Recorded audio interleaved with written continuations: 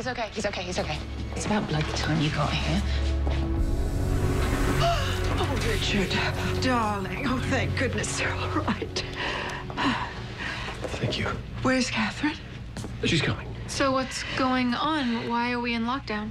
You didn't tell them? Considering the danger, I didn't think it was my place. Dad, does this have something to do with what you found out in LA?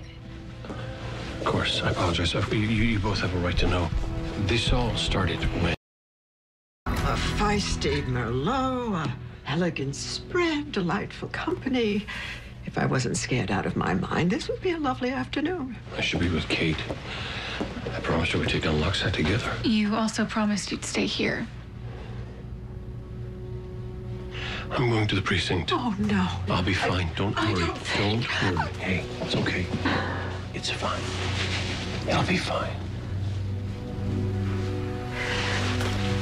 Don't worry. I will see you soon. Okay? See you soon.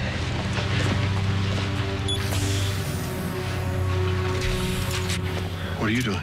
You can't go out there alone. Someone has to watch your back. And someone has to watch theirs. I don't know those guys out front. I know you.